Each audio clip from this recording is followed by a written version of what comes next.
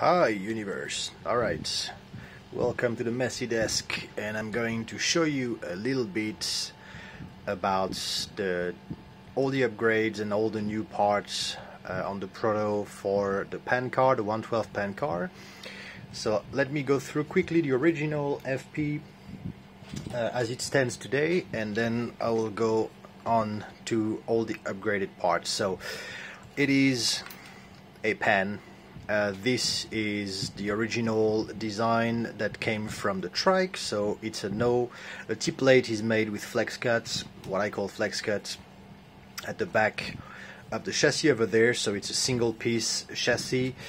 The front end is a separate part that includes uh, the servo, the C-hubs, and it can be mounted as a floating front end or as a rigid front end. At the moment it is uh, semi-rigid, it's pretty much rigid here. And then on the chassis itself there are a lot of different uh, stiffening parts that can be added or removed. So you have the stiffening bars on the side here. There is of course the rear bar for the body posts uh, and the battery hold. There are different battery hold uh, options for it. This is the super shorty version and then on my current setup I'm running a tri damper tube with springs. So I have gold springs in each of those tubes and in the center one as well. And so the lateral is pretty the the grease is pretty stiff. Uh, it's it's nice like that. It's it's really well dampened laterally. And then the middle is but there's not a lot of movement because I really don't have a lot of ride height. My tires are pretty low but um, it's pretty composed like that. This is the best I've had the chassis running. I'm running a 2S setup with a Blinky, a 60 amp ESC 13.5 turn motor. I have my 112 R6 in the front and then a JFT tires at the back. Those I believe must be Matrix or some other tires, I'm not sure. But JFT really are, are the way to go for those. So this is the original pan. It is based on based on old uh, classic 1.8 chassis. And so here is the new one. Let me plug this in so it will not look messier than it actually is. And so you can see same wheelbase. This is a 210 mil wheelbase let me show you let me get my trusty ruler with me. You'll see it is not a 200 so it's slightly less than it's like 27 or something like that. But uh, it's very close to 210 so it is a longer wheelbase than most pan cars. And this is I'm missing a screw here so the bumper is moving. So the new chassis a completely different chassis plate a completely different uh, philosophy for the way it is cut at the back. This is the system that I had designed for my pen car called the PCOO when I have the flex plates, the flex cuts uh, on the sides to hold the pod and then the battery is centered.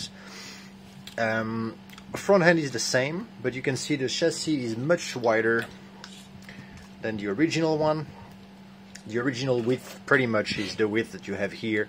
So this is there's a lot more surface uh, above the floor.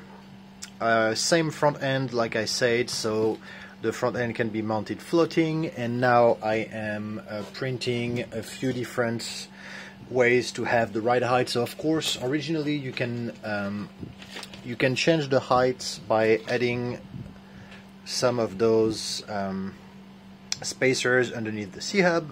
So I have 2 mils and 1.5 mils spacers for that. And I have much larger one that are printed as well. Or you can add uh, different plates underneath here.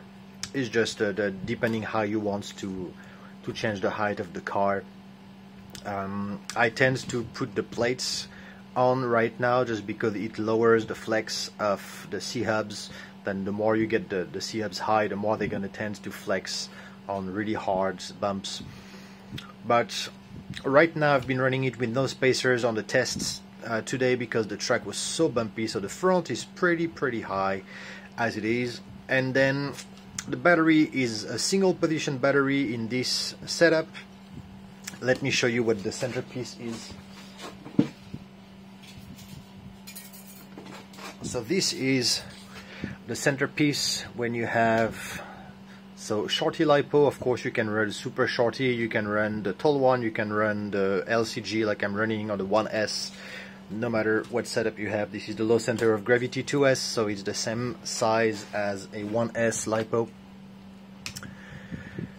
And this has a lot of configuration options. Right now I have everything on and then I'm gonna start playing around with the setup to see um, what works better. But I've tried to design those with the maximum amount of options. So you have the same mounts for damper tubes or shocks like on the previous version. Then there is this wider cut here in order to fit the damper plates which I'm going to show you soon. And then on the lower part of course the body posts are at the extremity here but nothing stops you from putting them on the inside as well if you want. And then you have different mounts if you want to run dampers lateral dampers here to the center. And there are other mounts for uh, putting some uh, side springs like I'm going to show you as well. And so here you have a mount for a damper or a shock knowing that this is here so you can run uh, pretty much from the center of the chassis to this part here. You could even run it to the front if you want it over there directly at the bottom of the chassis. There is a mounting screw here for the front deck. And then of course you have more options at the back to where you want to put it. So you can just adjust the way um, the whole articulation works in the car. And then for the battery hold itself you have six mounting points so once again you can mount everything like I've done here or you can leave some unmounted in order to add flexibility to the bottom. And so at the moment I am running absolutely everything together. So I have uh, the side springs here which are from Ride. I am running a damper here that has a silver spring on the inside and then I'm running oh these have went out. I'm running the dual uh, damper plates with the o-ring inside and the grease and then I have two silver springs up and down. So there is a springiness for the droop. There is a springiness for the top. Uh, you can see that the dampening for the up and down is going to be done by the tube as well as by the plate. And of course the spring here is going to act you can tell that this is the spring the main spring for the rear but that adds all the adjustabilities that uh, you can you can play with. And then the side springs here. So of course you can run them without but I would just add them as an option. And I've only drove with those on today and I'm yet to see what it looks like without, but it was a fantastic drive today with this setup on the car. Uh, I've played with more or less um, stiffness at the rear. You can have it really, really stiff. You can even add it to the point where uh, the chassis doesn't bottom to the floor, which I don't think is a good thing, but you could do it technically. And then the new things compared to the older chassis are those mounting points here. The one on the top will be for a 13 mil, 30 mil fan if you want. So those are spaced for the screw mount for a regular fan and then you have mirrored holes at the bottom that are countersunk.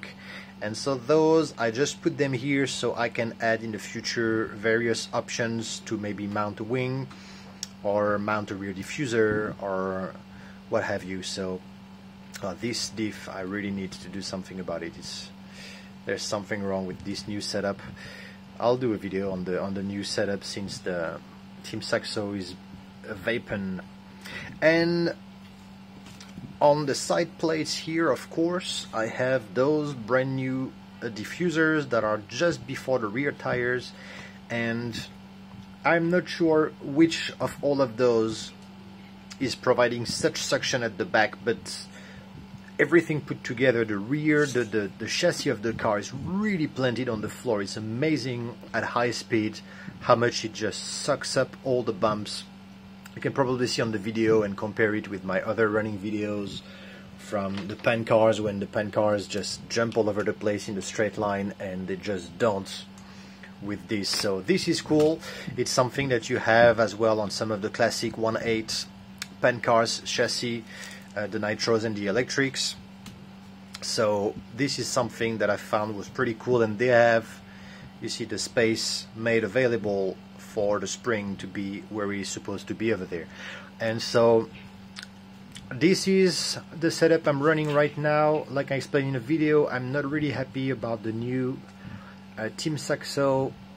Um, well let me show you what I what I mean while I'm here they, they changed something which doesn't make any sense uh, normally at the end of the of the diff you have the pressure plates. Usually you have two pressure plates which are uh, concave and you press them against each other and then you have a, a, a bearing that has two dish and a ball bearing in the in the middle.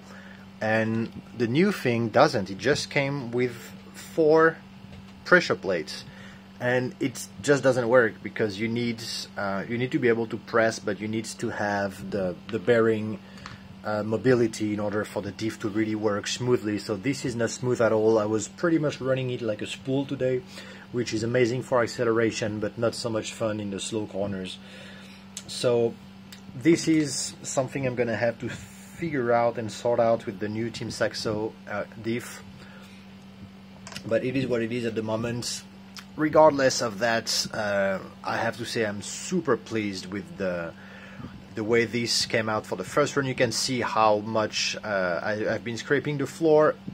This is a first run of production. They made a mistake. They didn't countersink this hole. They just punched a giant hole through it. So I need to figure out a way just to attach the bumper here. I had a screw, but it was scraping too much. So I'm gonna have to figure out something just for now until I receive the newer one. And for once, um, although I'm gonna have the first uh, chassis all in FRP.